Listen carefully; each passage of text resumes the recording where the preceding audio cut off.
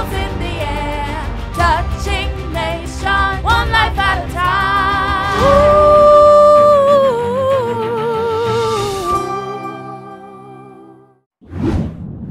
The reason why Christians pray and they don't have results is because God is not just answering to your conscious, He's also answering to your subconscious.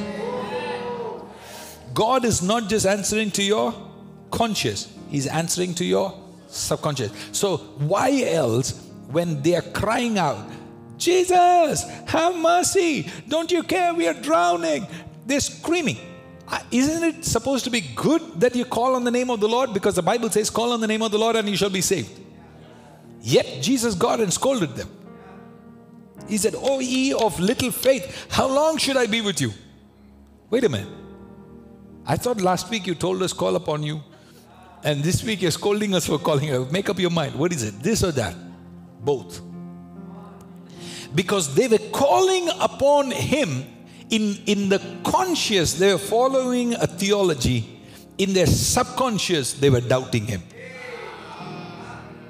So, does God respond to your conscious or does he respond to your subconscious?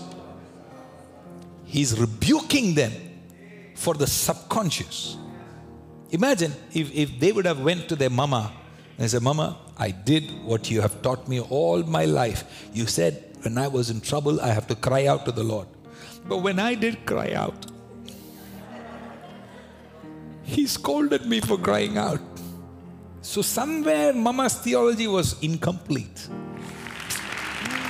What is the incompleteness? The complete theology is that God is not just interested in what your conscious nature is doing. He's interested is in your subconscious. In fact, your subconscious nature is more powerful than your conscious nature. I'm telling you, your subconscious prayers brings more results. Your faith has to be organic and subconscious, and that is what produces greater results.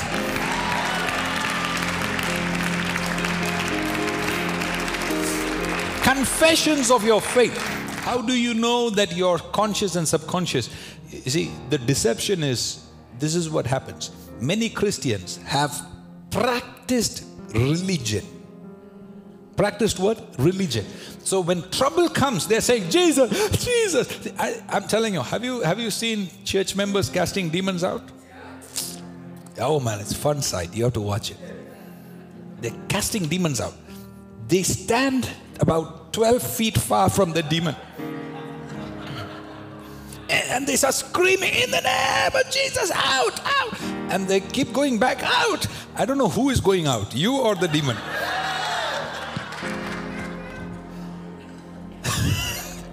if you've been in church long enough, you've seen one of these. They wait for the pastor to go around and then they throw stuff at the devil. I'm telling you, it's terrible. It's not the conscious nature that demons respond to. Even demons respond to your subconscious nature. How many of you know demons are smarter than dogs, right? Do you know dogs can sense fear? If a dog can understand your fear, your concerns, are you telling me Satan doesn't know? You're like, Satan, in the name of Jesus, you shall not touch. And Satan is like, she doesn't believe a thing she's saying.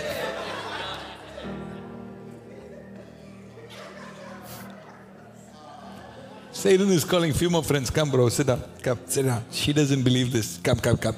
Join me.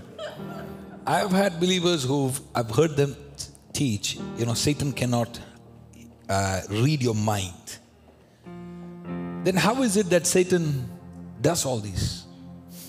Because you see, the way God has created you is when you see somebody and you feel an attraction to that somebody, Satan don't know what you're thinking, but he sees certain chemicals being released. It is only the children of God that are not able to read the signs. That's in your Bible. Is that my children don't know the times and seasons. But Satan is a master at learning signs. He studies your heartbeat. He says, oh, wait a minute. Right now, her heartbeat is going. So he doesn't need to read your mind. He knows your pulse, he knows your heartbeat, he sees the chemicals being released, he sees sweat glands responding, he sees every bit of information that is coming from you, and he can now know that you're worried about losing your job tomorrow. You didn't even share what you were thinking with anybody else, but just by the way you're rolling around in the bed, Satan knows that his trick is working on you. He doesn't need to read your mind, he's studying you, he's watching you, he's seeing the way you're tossing around. He knows what chemicals are being released. Is it anxiety? Is it attraction? Is it lie? Everything produces a certain chemical. And he's been studying humans for thousands and thousands and thousands of years from Adam. He knows how our body works. Are you understanding? So he studies to know at what point can I shut the spirit from flowing out of him. So he comes around and fills you with attacks of your mind. now you guys are pushing me to prove this more.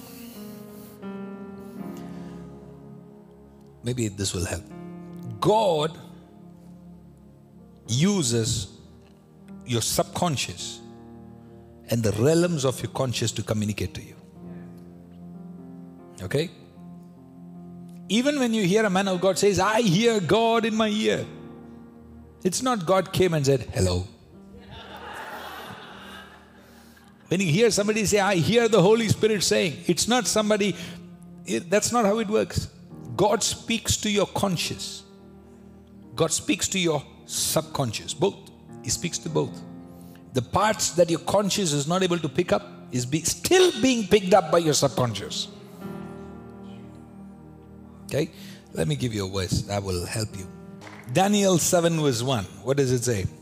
In the first year, I'm reading from the King James Version, in the first year of Belshazzar, king of Babylon, Daniel had a dream and visions of heaven upon his bed. Oh, wait, did I get it right? Sorry, sorry, sorry, sorry, guys. I, I have to read it properly. Had a dream and visions of heaven upon his bed. Sorry, I'm, maybe I got the wrong version. Can you give me ESV? Maybe ESV is better because this version is messing me up. King of Babylon, Daniel saw a dream and visions of heaven. Is it heaven? My goodness, this is big trouble now. What do we do, Pastor? This is big issues now. We can't change the Bible, right? It's in your Bible. Ah, talk to me now. It's in your Bible. Visions where? Ah, ah. Wow. Wow. So you're telling me this guy is a major prophet?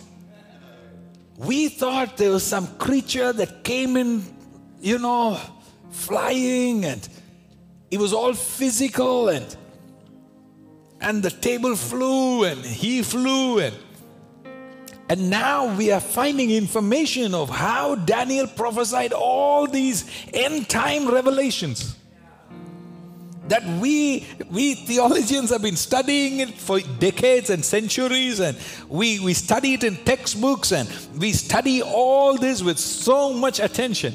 It was all in his. I didn't say that. You said it. I didn't say that. I'm not part of this. Come on now. I need you to open up your mind to receive this word right now don't limit who you are. Imagine many of you said, What if it is in my head? But that is how the Holy Spirit works. What is the job of the Holy Spirit? What is the job of the Holy Spirit? What does the Holy Spirit do? He brings you into remembrance. What is the job of the Holy Spirit? He's bringing you into remembrance. What did the angel of the Lord do when he was wrestling with Jacob? He said, What is your name? Are you telling me God didn't know his name? So, what was the purpose of him asking the name? Jacob, You want to go into your future? We got to fix some things of your past. The man is wrestling with an angel.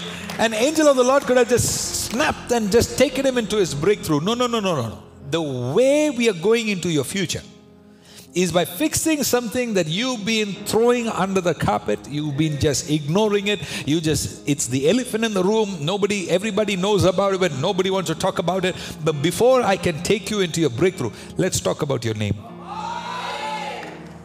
Ah, no, no, no, no. Don't, let's, let's not bring up my name, God, because that's the, that's the part of me that that has hurt me the most. That's that's how all my friends made fun of me, and, and my father called me that. My father-in-law called me that. My wife called me that. Everybody, I've complicated my life with the web of lies, and now in the night of an encounter, when God is taking me to the next level, God is taking me to the new chapter. You're coming and asking me my name. Uh, Is that fair? Are you, are you bringing up my past? I'm not bringing up your past to humiliate you, Jacob.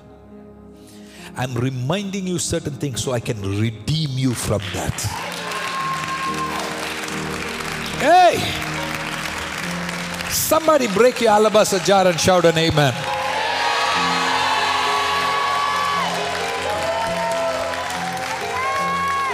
When some injustice happened to you, you were too young, you were too small, you had no understanding. Your spirit was not as strong as your spirit is right now. You were too small in that age for you to even be able to function in the authority and take authority over that spirit and take authority over that lie and cancel that. That time you were too weak, so you became bound by that moment in life. And now, 40 years later, God still has to talk to Moses and say, Let's talk. Let's talk, Moses. 40 years later, he's still, God is still bringing Egypt out of him. Ezekiel 3, verse 14. Are you ready? So the Spirit lifted me up and took me away. Everybody say, To where? To where? Okay. And I went in bitterness. Wait a minute. Brother, are you sure this is the Spirit of God? Because you, you did you just say the Spirit of God took you in bitterness? Okay. In the heat of my spirit. But the hand of the Lord was strong upon me. He's saying, but. Everybody say, but. He's saying, my experience doesn't make sense, but the hand of the Lord was upon me. Then I came to them of the captivity at Tel Aviv that dwelt by the river of Chebar. And I sat where they sat and remained there astonished among them for seven days. The Spirit of God carries him into a place that is very, very painful, into a place that was was giving him nightmares because Ezekiel is part of a group of people that were taken as slaves, as exile. And where does the Spirit of God take him into? Into midst of captivity. Lord, I'm already in captivity. Why don't you take me to, you know, some Switzerland or you know, some nice mountain and give me a break. Why are you taking me into more captivity? Because the glory of God is going to shine in the midst of your captivity. Things have to be corrected spiritually. He went there, and the Bible says he was astonished. How many of you been astonished last week? This guy, he's saying, I don't understand. I'm, I'm supposed to be blessed right now. If the Spirit of God is taking me, I shouldn't be in bitterness. I don't understand. But he was astonished. And it came to pass at the end of seven days that the word of the Lord came unto me. The word of the Lord came. And at the end of seven days, the word of the Lord came, Son of man. And God began to speak to him. God is going to carry some people into the place where it looks like a bondage, looks like captivity, looks like bitterness, looks like the spirit of heat. It looks traumatic, but God is going to take you to the place that has held you captive for a long time. And He's about to release the word of God that is going to come to you and break you from that captivity. Second Corinthians chapter 10, 4 and 5. For the weapons of our warfare are not carnal, is not physical. The warfare, the weapons of our warfare are what? Not physical, but mighty through God to the pulling down of strongholds. Verse 5. Are you ready? He's talking about spiritual warfare. Weapons of a warfare not physical, but mighty through God to the pulling down of strongholds. Verse 5 casting down imaginations. You're thinking spiritual warfare is happening physically in certain location. Whatever happened physically in a certain location does not exist in that location, but it still exists in your mind. The location changed from a physical place to a place in your mind. What does the Bible say? Casting down imaginations. Ah. Because one verse before that it says pulling down of strongholds. And then he's talking about strongholds as imaginations. Your imagination can become a stronghold. Okay, casting down imaginations, and listen to me and every high thing that exalts itself against the knowledge of God. Hey, hey, Ratov Rokozia. Did you hear what it says? There is an imagination, there is a lie, there is a trauma. Are you with me? Yes. I have to stop if you're not with me. Talk to me. Ah, no, no, no. Now is when you need to be more active. Come on. Are you with me? There is a memory, there is a trauma, there is a lie, there is an imagination, there is an incident that the Bible is saying. Every high thing that exalts itself against the knowledge of God, every high thing, meaning anything that is beyond your capacity, every high thing. What are high things? Mountains, giants, giants in your mind giants in your memory, giants in your past. Membrokosa, tonight is going to be brought down in the name of Jesus. Bringing into captivity every listen, listen, listen, hear me, hear me. Spiritual warfare. Everybody likes spiritual warfare, right? Everybody likes spiritual warfare, right? Talk to me now. Ah, you're not a Christian in the church long enough if you don't like spiritual warfare. Because everybody wants to learn spiritual warfare. Here you go. Every spiritual warfare, the next verse, all of it is in the mind level. Mind level. Remember, again, back to practical lessons. When I did that, it is because the Spirit understands the healing that has happened in the mind. You cannot have victory on the outside in the kingdom if your mind doesn't have victory. Look, here it says, bringing into captivity. Remember, this is the word that is going to launch you. So, are you ready? Yes. What is the Lord going to do? Bringing into captivity every thought. come on. Every thought. thought to the obedience of. Oh my goodness. We've been doing spiritual warfare wrong.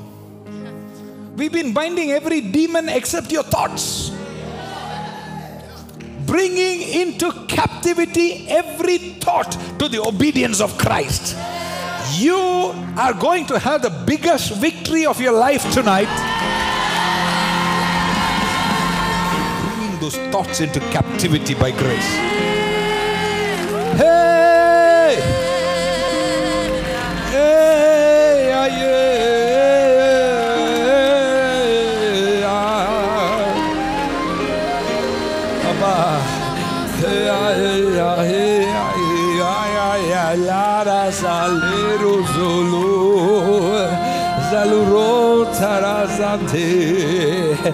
Ha, let's worship and enter.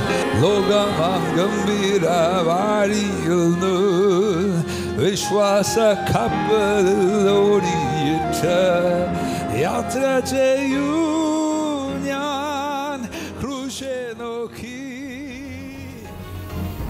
Hello, welcome to Revive Nations. We are so glad that you are here.